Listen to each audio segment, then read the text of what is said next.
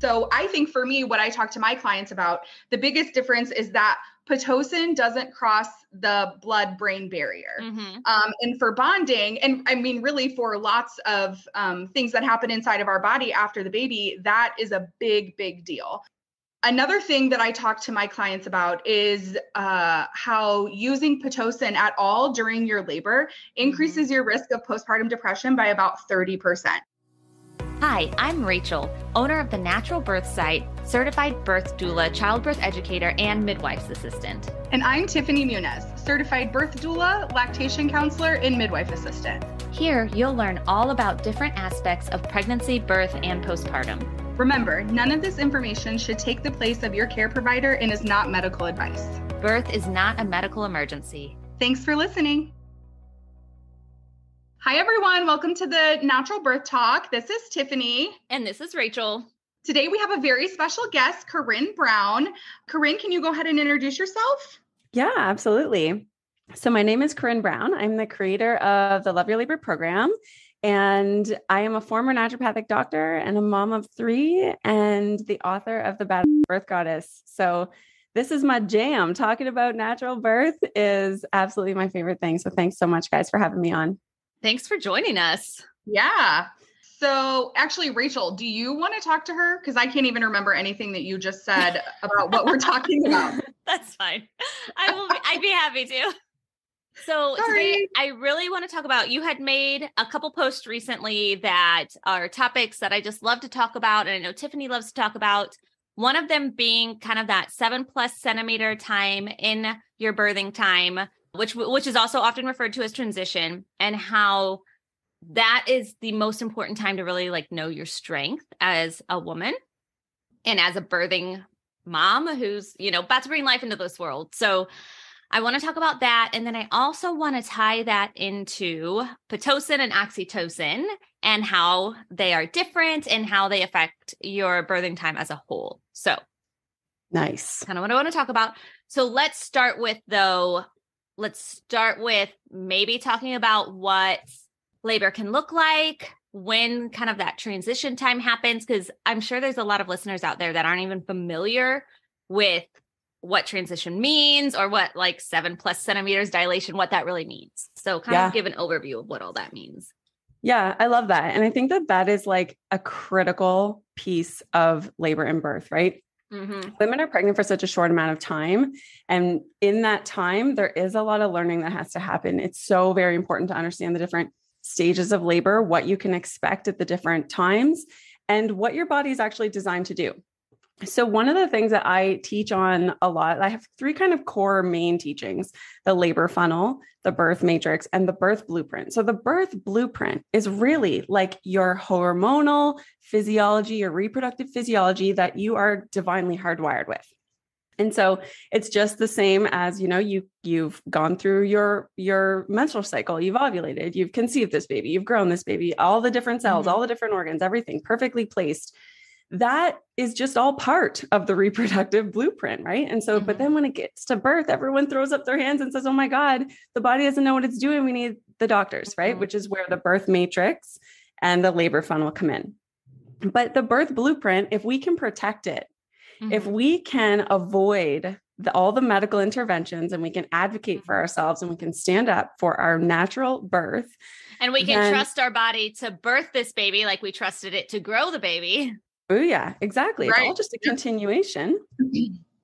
then we will actually allow this birth blueprint to unfold like a beautiful flower, right? It just like it flows. And that's the way it's designed to. And so transition specifically what you're speaking about right there's there's early labor which is like you know zero to four-ish centimeters and there's active labor which mm-hmm. is five-ish to seven-ish centimeters and then when you hit the seven eight centimeter mark And this mm-hmm. is so mm-hmm. important to know and to mm. cling to this and to tell your partner this and tell your doula this and tell everybody this that when you get to that seven, eight centimeter mark, that is transition. And that's where every single woman utters the exact same phrase. no matter is, how many babies she's had. yeah, right. Yeah. Exactly. It's like it falls out of your mouth. I can't do this anymore. You've hit a wall and you're just like, this is beyond the beyond. I'm done. Where mm-hmm. is the mm-hmm. epidural? Right. Are the drugs. And when you're in the hospital, that's where the medical system says, all right, here we go. Sure, let's do it. Right. Yeah. Exactly. Yeah. Nobody yeah. says, ah, ah, you can do this. Right. Yes, this is the mm-hmm. hardest part, right? Mm-hmm. Nobody encourages and, and gives you that support, but Mother Nature does. So in the birth blueprint, there's this beautiful thing called labor land, right? Mm-hmm. Where we mm-hmm. kind of fall into, I say it's like a dark curtain gets pulled around you, a dark yeah. velvet curtain, and you don't really know what's going on. Mm-hmm. You're totally and you're happy. falling asleep. You're falling asleep in yeah. between yeah. waves. That's another thing I always hear is, I'm just so tired. I just I need some rest. So Maybe I should get some meds. Mm. Or when they talk about their previous births I was just so tired. I was exhausted. I was falling asleep in between my contractions. Like I had to get an epidural. I had to. no matter how fast or how sh- right. how long your labor is, you fall asleep in between contractions. You hit that labor land. That's the name then, of the game. Yep. And then Drowsy. baby's on your chest and you're right awake, wide awake, and it's like crazy. And it's right. all hormonally perfectly designed mm-hmm. to be that way. And it's all for a reason. And mm-hmm. so understanding that, oh, I've hit this mark where I can't do it anymore. Suddenly you're just like totally groggy or dissociated. You're mm-hmm. in your own zone. You're doing your thing. You have like no idea people are talking to you or what's right. and you're on. not talking. You're like uh-huh. one grunt for yes, two grunts for no. like you're not speaking sentences at this point. You are so dialed in. Uh-huh. You are uh-huh. so focused. And that's again the way it's designed to be because mm-hmm. the hardest part. Mm-hmm. Right. It is. And so Mother Nature says, I got you. Don't worry. We'll get through this. Like, just I'll take it from here kind of thing. Mm-hmm. And then you get fully dilated and then you get the adrenaline and then you're like okay let's push this baby out you wake up like as uh-huh. if you uh-huh. were just you know passed yeah. out of the party kind of thing ready to rally yeah and, and that's again the way it's designed to be yeah. and so just like understanding that mm-hmm. like from mm-hmm. the 10,000 foot view or whatever, that it's mm-hmm. actually beautifully created that way. Yeah. And that yeah. we don't need to jump in with all these medical interventions. You don't need to be saved from mm-hmm. it. It's right. so important.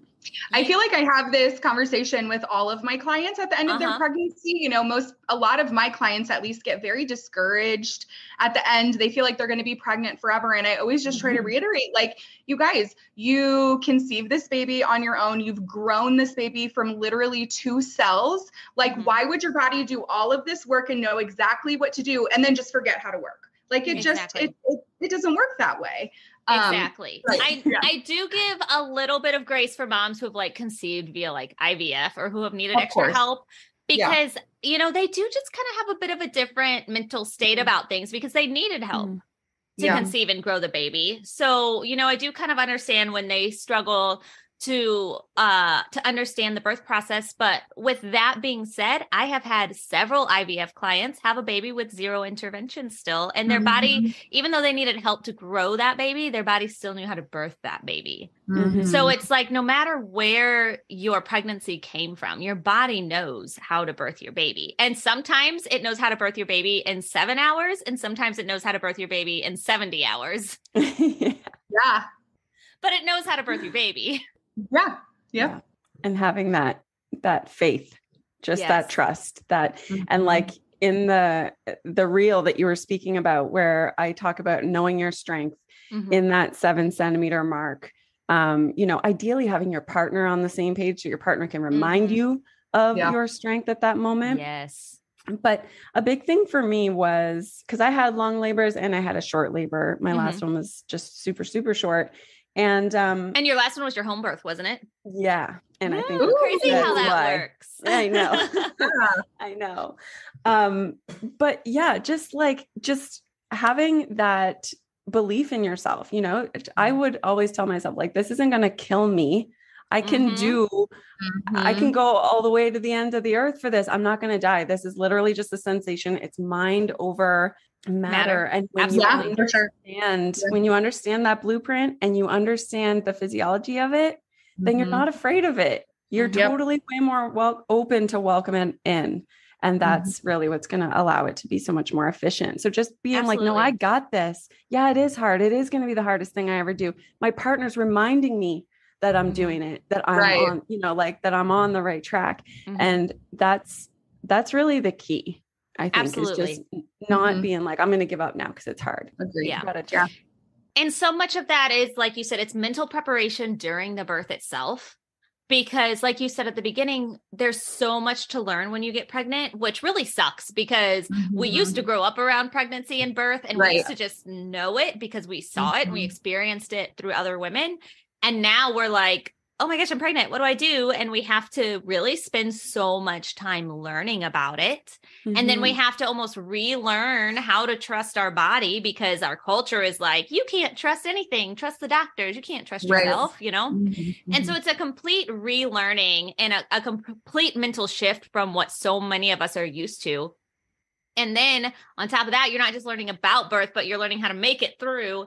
And that mental preparation, again, just reminding yourself this doesn't last forever. And yeah, a three day labor is a really long labor, but in comparison to your entire life, it's just three days.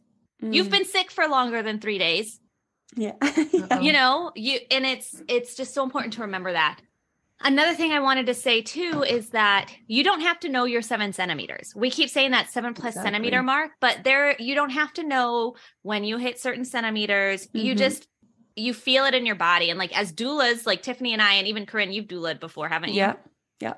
We can tell when you've hit that transition. Yeah, you don't need a cervical we, check. right. Nobody has to say, hey, you're seven centimeters, you've hit that mark. We're like, okay, you've hit that transition mark. For me, I start transitioning at like four or five centimeters with all of my babies. Mm. And I go from four to five centimeters to having a baby within just a couple hours.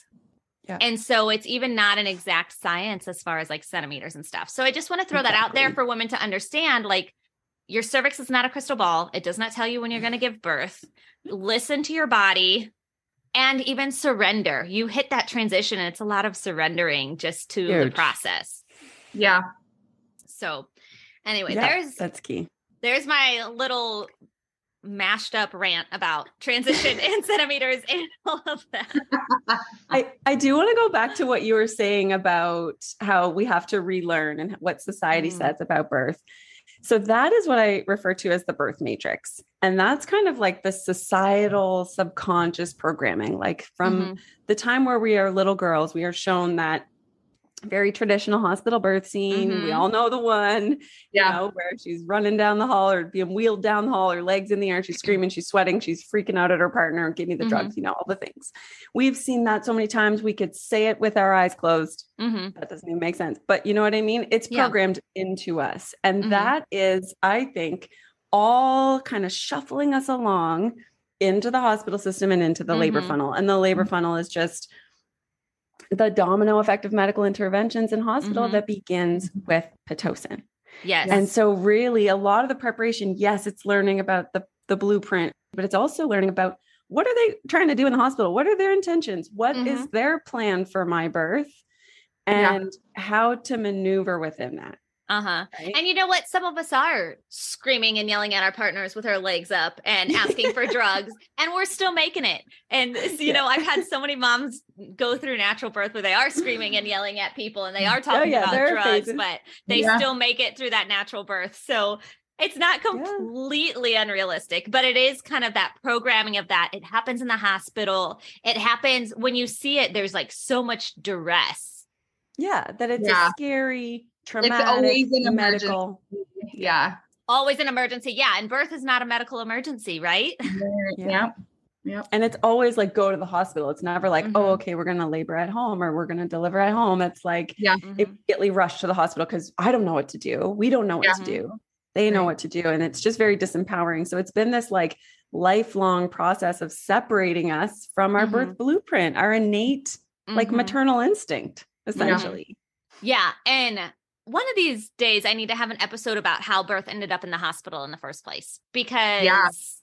that if you can understand how birth ended up in the hospital, then you can easily see why it doesn't belong in the hospital anymore. Mm-hmm. Yeah.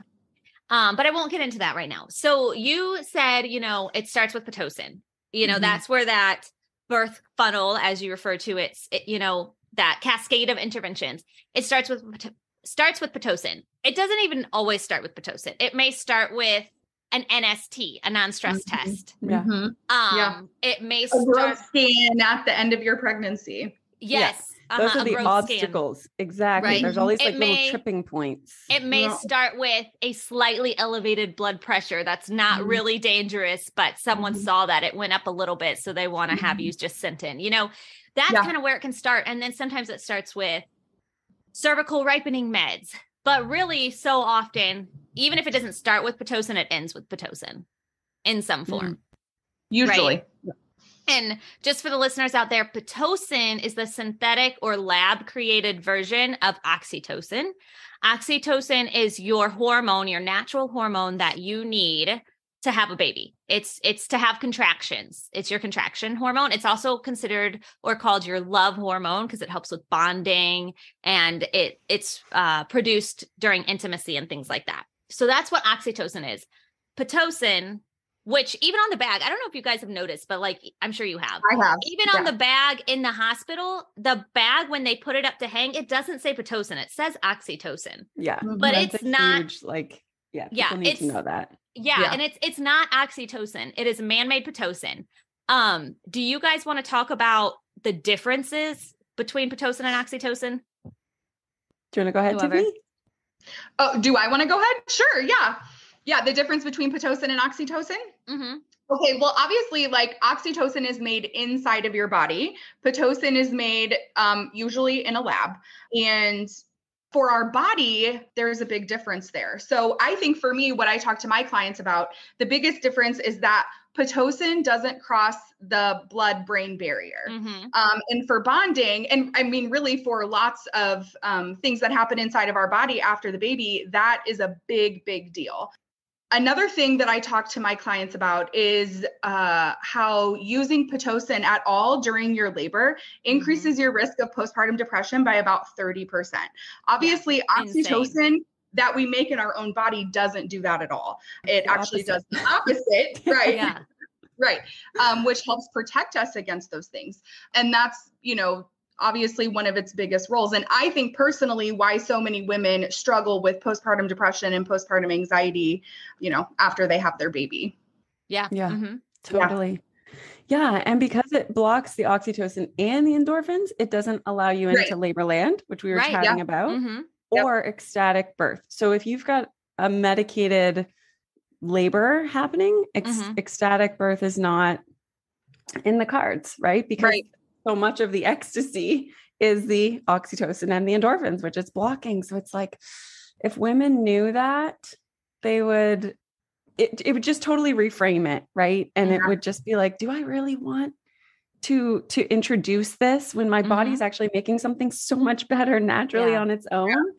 You know? Well, and you would... guys, you vaguely mentioned that you know, one of you said Pitocin doesn't cross the blood brain barrier, and the other one said it doesn't really release endorphins. And I just want to put those things together. Yes, exactly. So, That's because Pitocin doesn't cross the blood brain barrier, it doesn't trigger endorphin release. But mm when your natural oxytocin happens and flows through your body, it does cross that blood brain barrier and it does trigger endorphin release, and right. endorphins make you happy.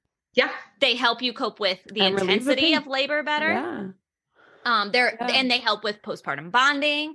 They help with that energy postpartum. They help with just feeling better postpartum, and that's the mm-hmm. theory as to why pitocin causes increases the risk of postpartum depression. The theory is that it's because you don't get that endorphin release. Yeah. Mm-hmm. And then, guys, pitocin contractions just suck. Much harder. Yeah. Much They're more intense. Night and day and they the want, ones that your body can produce. Yep. Yep. They're much more intense because you're not getting that endorphin release. Right. Because your body cannot self regulate the amount of Pitocin, but it does self regulate the oxytocin. Mm-hmm. And then, uh, what else was I just going to say? When you go in, Corinne, when you go in for a Pitocin induction, what's like the frame that they want your contractions to be at? Like I, I didn't ask that eloquently. I'll just say it. Okay. So when you go in for a Pitocin production induction, they want your contractions, your waves to be two to three minutes apart from the very beginning. Right. Oh, okay. So I see what you mean. So I know I didn't ask that, that well. I'll probably edit that out. Um no, but I think that's a good point because it yeah. for I mean, obviously we don't know how each person's body is going to react to a mm-hmm. specific dose of Pitocin. So one woman may only need uh, you know, the Pitocin on a level two in order mm-hmm. to get that, what they call an effective labor pattern. Mm-hmm. Whereas another woman might need something like a 20 to mm-hmm. get that effective labor pattern. So I think, is that what you were trying to say, Rachel? Like well, how, of, yeah. So how much Pitocin is in your body and then how quickly they want your waves two to three minutes apart. You know, in a in a natural labor, Corinne, like kind of why don't you talk about how contractions kind of progress usually throughout labor? Now, all yeah. labors are different. Your body can't read right. a textbook. Yeah. But why don't you yeah, talk totally. about how like in a natural labor your body kind of slowly progresses and how what contractions may look like and then compare that to how that often looks like in a pitocin induced labor. Yeah. Yeah, exactly. Well, in in early labor, it's pretty hit and miss, right? They can mm-hmm. be 2 minutes, 20 minutes, 12 minutes here there, they can be 30 seconds long. Usually they mm-hmm. are under a minute and they're mm-hmm. usually early labor. You're walking through them, you're talking through them, you're totally able to just kind of, I recommend people just kind of go about their day. Mm-hmm. Um, mm-hmm. whereas once active labor hits, these contractions are a full minute long. You cannot walk, you cannot talk. You're much more focused. Mm-hmm. They're coming more consistently, three, four, five minutes apart, mm-hmm. right? That's how you, that's that first kind of shift where you mm-hmm. can say, okay, I see the pattern changing here. We're into active labor. Transition kind of starts, and this is why labor land is created. Mm-hmm. yeah. Yeah. transition starts to, you know, you might get back to back contractions. You might mm-hmm. get two minute long contractions or minute and a half, right? You might, yeah. they might be significantly more intense. Well, they will be more intense. And so mm-hmm. that's where you know that now you're into transition. Mm-hmm. And then once you hit fully, di- fully dilation, your, your adrenaline spikes, right? Then mm-hmm. you're getting the contractions are coming consistently, but they're not the way that they were typically in mm-hmm. transition. You're mm-hmm. getting a little bit of a break in between the the good strong urges to push. Yeah. Um, so that's yeah. kind of the. But then if you're going into the hospital and you're two centimeters dilated mm-hmm. or three centimeters, and they want you to be back to back two three minutes apart, you see how mm-hmm. that's not natural, right? You see right. that that's not the normal pattern, and so that's why women have these very kind of long, difficult labors that need more interventions. And it's just right. Mm-hmm. And in natural transition, your waves are kind of two to three minutes apart, right on top of each other, two minutes long. But that transition period, and this is something important that we haven't said yet, mm, is usually true. quite short. Yeah. Yeah. And it is usually quite short, yeah. especially when your baby's in a good position and you've been doing lots of movement and exercise throughout pregnancy, and you're able to just trust your body and you've naturally gotten to transition that two to three minutes apart is usually quite short. But if you're having a Pitocin induced labor, then you hit that two to three minute apart, you know, those contractions are two to three minutes apart from the very beginning. So it may be mm-hmm. 20 hours or more, very more, realistically. Yeah. Mm-hmm. Of those waves so close together. So, of course, you're going to be more tired. Of course, they're going to feel more intense. Of course, you're going to feel like you need some sort of medical pain relief. Mm-hmm. Yeah. But if you're able to just let your natural oxytocin flow and you're able to just trust your body and you get to that transition point where you do feel like you can't do this but by time by time you're just done with it but by time you're just like uh-uh this has been too long you're pushing. Yeah mm-hmm. exactly. If you can just get like a little nudge of support through it it's you're just on to the next phase. It's just it's like the ring of fire essentially it's like transition is like that it's like mm-hmm. oh just just power through because right on the other mm-hmm. side of that is mm-hmm. is relief right yep, right absolutely so yeah. i have to tell my first birth story because it fits this so well I, yeah. I, it does not include pitocin or oxytocin but it does include that moment of transition where i i thought i knew a lot about birth and then i got into the birth and i was like i don't know anything um and I hit, I hit, I very quickly hit transition. So I went into the hospital at like 6 p.m. and I was like only two centimeters dilated. I had been laboring most of the day, but it wasn't necessarily hard. I'd been laboring at home. And I got to the hospital like 6 p.m. I was two centimeters dilated. They didn't even admit me right away. They were like, okay, well, your midwife's going to come in in like two hours when she's done with her meeting to check you. Two hours later, I was four centimeters dilated. So this is like what eight o'clock at night, eight thirty. I didn't know at the time, so I let her break my water. She didn't make me, she offered, and I said, sure. I did not do that with any of my other uh, labors, just in case anybody was wondering. But I, and then I was told, so I, was told I instantly hit five centimeters when she broke my water. And then I was told an hour per centimeter and an hour of pushing, which is super old school textbook way yeah. of thinking about labor that is yeah. completely inaccurate. Completely. Um, some births do go that way, but but most do not. So I'm thinking I have six hours of this left. And then when my water broke, I hit like a brick wall. It was like I was sweating. I went from being cold to sweating mm-hmm. and I was mm-hmm. miserable. Mm-hmm. And I was like, oh, oh my God. My midwife left and went home. So I asked for about an hour into that. I was like, I cannot do this for another five hours. I need an epidural. And um, I got the IV fluids because they put IV fluids in you before you get an epidural to help your blood pressure. Right. I got the IV fluids, and just the IV fluids made me feel a lot better because it wasn't so hot anymore. Mm-hmm. Um, and then like 20 minutes later, I remember like I didn't know what pushing was, but I was like grunting, and the nurse had this look of panic on her face, and she's like, "Just blow it away. Your midwife's coming back." And I'm like, "I don't even know what you're saying to me." Yeah, right. And um, my midwife came back, and I was like, "Where is my epidural?" And they're like, "Oh, you're not getting one." And I was like, "What?" you know, so I I say all that to say, so I was in that transition. I had been told I had five to six hours left. In reality, I birthed my baby less than three hours after she broke my water. So I was 5 mm-hmm. centimeters, and then within three hours, I had birthed my baby. Yeah. And I think that is so important for people to understand how it is very intense. Had I known it was only going to be three hours and not six, had I been more aware of how birth actually works, I don't think I would have ever asked for that epidural. And I'm so mm-hmm. grateful that I didn't get it. Yeah. Mm-hmm. mm-hmm. But it just comes back to that knowledge of what transition is and knowing your strength mm-hmm. and knowing that you can power through this. Yeah. And your birth team knowing that same information. Yes. yes. Mm-hmm. Huge. Yeah. Yeah. And I, such a good point too about how you were like, oh my God, five hours left. And then your mindset of like, can I do this? Can I cope? Oh mm-hmm. Oh my God. Like that is a really good argument for not doing cervical checks or, yes. you know, not yeah.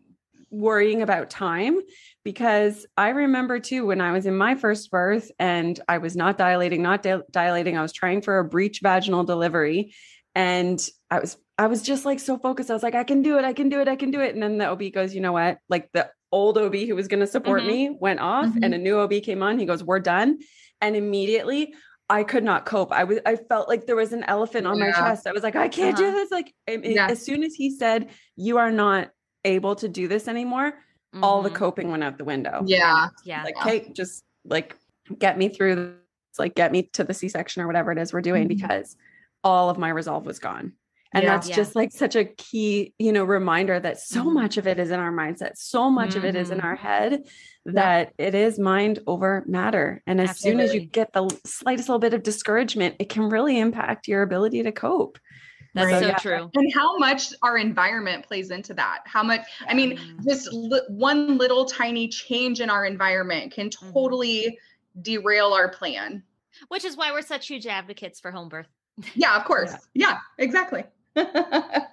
because your environment I mean, makes a difference, your mental space makes a difference. And so many providers out there have no care for your mental space. Yeah. They don't think it matters. They, they care about understand. Uh, the baby in the bassinet, like after it's born, like uh, getting the baby here and the baby being alive and the mom being alive. That's, you know, for the most part, in my experience, yep. what most of them care about which is important, right? It's important to have both of them alive. Well, sure, but, but there are that's going to happen. Things you know, that are also very important when it absolutely. comes to so that are yeah. just as important, absolutely. Yep. And you you just got to trust your body. Yeah, you just got to trust your body. And then one last thing that I want to add, and then you guys can add anything, is that if you do have to have pitocin, that does not mean your natural birth plan has to go out the window. Mm-hmm. It means you're going to have to cope differently. It means it's going to be mm-hmm. harder. It means you should definitely hire a doula if you haven't mm-hmm. yet. It means you have to be really open to to just communication with the people in the room. It means you have to really pull and rely on those birth affirmations. So it doesn't mean your natural birth has to go out the window. It means it's going to be harder, probably. Mm-hmm. Mm-hmm. But it doesn't have to completely go out the window. You can still do this pain med free if that's what you want to do. Yeah. Yeah. Agreed. just just absolutely like make sure you've got options for pain management. Yeah. Like I don't like to harp on any one particular style, but I do in fun pick on hypnobirthing a little bit because I'm just like I there there are times where transit where contractions change their quality and sometimes if you only have one coping mechanism mm-hmm. it will mm-hmm. fail you and then you're like well yeah. i got nothing to fall right. back on agree so it's really important to yeah. just like shore yeah. up lots of options for lots of options and yep. natural options anyway water but, water is huge yeah. Mm-hmm. Um, for yes. any type of birth, water is huge. Pool or shower, tub, shower, whatever. Yeah. Um, a mm-hmm. lot of hospitals now, I don't know about in Canada, but in America, a lot more starting to offer nitrous oxide. Mm-hmm. Um, it's very common in Europe, I know, but we're, you know, kind of behind there. Mm-hmm. Um, kind of. yeah. um then there's you know there's all other kinds of things. There's physical comfort measures and again those mental comfort measures we keep talking about and essential oils and there you know i agree like with Corinne you have to have kind of several things stored up. Mm-hmm. yeah yeah and i think for uh for like the mental comfort measures really making sure that you're taking time to practice those during your pregnancy. Yes. I think a lot of people think, you know what, it's fine. I'm just going to wing it and like I'm just mm-hmm. going to go with the flow and like it's going to be great. But in reality, unfortunately, that's not how it works. Just mm-hmm. like, you know, some of those physical comfort measures, even I think more so the the mental ones mm-hmm. are the ones that you really have to practice. Yep. Um yeah, so cuz you have to believe it. Right. I mean, you're literally like changing pathways in your brain, you know, whenever you are practicing these during your pregnancy. So it's really, really important because if you're in labor and you're already super tense and super stressed out, uh, mm-hmm. those comfort measures, those uh, uh, mental comfort measures probably aren't going to help you near as much um, as if you would have practiced them during pregnancy. Yeah. Yep. Yeah definitely. Don't don't wing it ever. No. I'm like Never. don't ever try to wing your birth. You, yeah there are very few people prepared. in this world i know when people very are like people I'm in this world so who can laid back i'm so laid back i'm just gonna, gonna go see how it flow. goes. No that's like the worst thing you could right. do. Yeah you're gonna go with the flow of pitocin through your veins. you're gonna that's go with the flow of the labor funnel. Yeah no don't do that. Don't be a go with the flow person when it comes to birthing your baby please. Right. Yeah Absolutely. Anything else you guys want to add before we finish up? No, I don't think so. That was good. All right. Let's chat. Yeah, I think this is going to be so helpful because, again, I mean, I told my personal story. Like, had I known what transition was with my first baby, I think mm. things would have, I would have been so much less stressed during my birth, you know? Yeah. And so I think it's so important to understand what transition is and then to understand how the most common intervention affects labors so pitocin how that affects things so yeah all right awesome. if if you guys have any questions listeners just go ahead and email me at contact at the naturalbirthsite.com and definitely check out the description below because i'm going to put some of corinne's infos Oh my goodness, words. I'm going to put some of Corinne's info in the description below. So make sure you check that out. And thanks for listening, guys. We'll talk to you in the next episode. Bye. Bye, guys. Hi, Rachel Manns again. If you want to learn more, please subscribe to and rate this podcast and head over to thenaturalbirthsite.com to check out our online natural birth education course, birth story blog, YouTube channel, and more.